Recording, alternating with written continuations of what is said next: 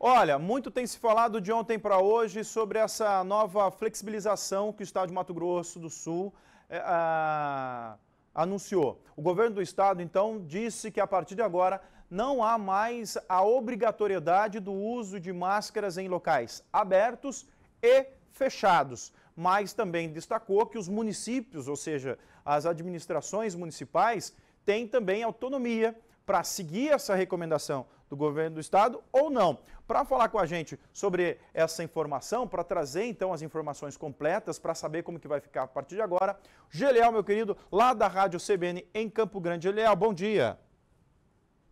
Muito bom dia, Rude. Muito bom dia a todos que acompanham a programação de hoje. E é exatamente isso mesmo, viu? Após a reunião do comitê do programa Prosseguir e a equipe técnica da Secretaria de Estado de Saúde, a SES, realizada na tarde de ontem, o governo do estado decidiu por desobrigar o uso de máscaras em locais fechados em todo Mato Grosso do Sul.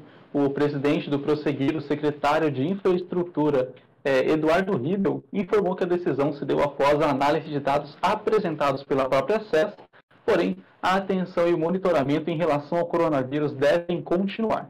O secretário da SES, Geraldo Rezende, afirmou que os municípios podem tomar as decisões de acordo com as suas realidades e recomenda que o uso de máscaras seja mantido em pessoas imunossuprimidas com comorbidades graves e que não tenham sido vacinadas em decreto publicado nessa manhã, o, o prefeito Marquinhos Trade aqui da capital considerou, perdão, em decreto publicado nessa manhã foi considerado um esquema vacinal completo da população apta de mais de 80%, no qual foi tomada essa decisão pelo Estado. A capital, aí sim o prefeito Marquinhos Trade decidiu liberar o uso de máscara do protetor apenas em espaços abertos, o decreto com as novas regras deve ser publicado na próxima, na próxima segunda-feira.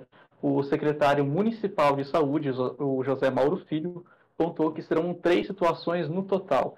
Elas podem ser a liberação total, a recomendação e a obrigatoriedade desse uso de máscara.